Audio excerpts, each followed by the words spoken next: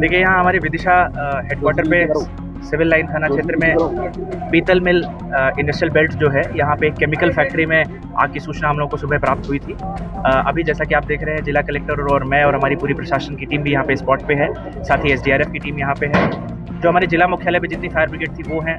जो private units थी जैसे अदानी आदि उनसे भी हमने फायर ब्रिगेड बुलवाई हैं। आसपास के जितने क्षेत्र हैं, चाहे वो सांची हो, मंडीदीप हो, बीना हो, या हमारे अन्य कस्बे हैं, वहाँ से भी सभी जगह से फायर ब्रिगेड्स और खासतौर से फोम वाली फायर ब्रिगेड्स बुलवाई जा रही हैं। तो लगातार राहत और बचाव कार्य यहाँ पे किया जा रहा है कि आग पे जल्द से जल्द नियंत्रण पाया जा सके।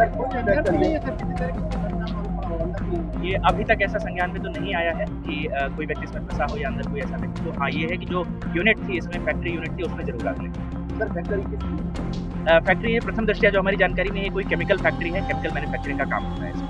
के मालिक कौन है? इसके मालिक जो हमारी जानकारी अब तक है कि एक्स एमएलए जो शशांक भार्गव जी हैं उनकी यूनिट है और सुबह से वो भी लगातार हम लोगों के संपर्क में हैं तो उनके साथ मिलकर हम लोग इसको है।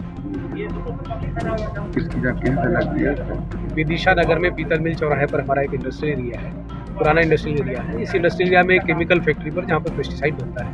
आग लगने की आज सुबह सूचना प्राप्त हुई। और सूचना प्राप्त होते ही से तत्काल जो है उस आग पर काबू पाने की कार्रवाई शुरू कर दी गई। चूँकि ये केमिकल फैक्ट्री की आग है तो इसको बुझाने के लिए फोम वाली एक जो विशेष फायर होती है, उनकी आवश्यकता होती है। तो मंडीदीप इंडस्ट्रियल एरिया में और जो बिना रिफाइनरी हमारी वहाँ पर इस तरह की फायर ब्रिगेड है। स्थानीय स्तर पर जो अडानी की आयल मिल है हमारे यहाँ पर तो वहाँ वहाँ पर भी फायर ब्रिगेड है, वो भी मौके पर पहुँच चुकी है। भोपाल से भी दो फायर ब्रिगेड आ रही है और जो हमारी स्थानीय स्तर पर जो चार पाँच फायर ब्रिगेड्स हैं, वो सब निरंतर इस काम में जुटी हुई है। लोगों को आगाह किया गया है कि जहाँ दुर्घटना हुई इस क्षेत्र के आसपास ना आए। डिस्ट्रिक्ट हॉस्पिटल को भी अलर्ट मोड में रखा है हमने, मौके पर एम्बुलेंसेस वगैरह भी पहुँच गई पहुँच गई है। किसी भी आकस्मिक स्थिति से निपटने के पूरे इंतज़ाम। सर जो शहर के अंदर जो इंडस्ट्रियल एरिया है कई बार प्रशासन मेहनत कर चुका कि इन्हें बागरी पे ले आया जाए। ये पुराना इंडस्ट्रियल एरिया है तो चूँकि पहले से यहाँ पर है और एक नहीं और भी इंडस्ट्रीज़ यहाँ पर ऑलरेडी है शुरू से ही ये संचालित है। रिहायशी बस्ती में इस तरह की केमिकल फैक्ट्रीज होने पे और इस तरह की दूसरी घटना बड़ी होने से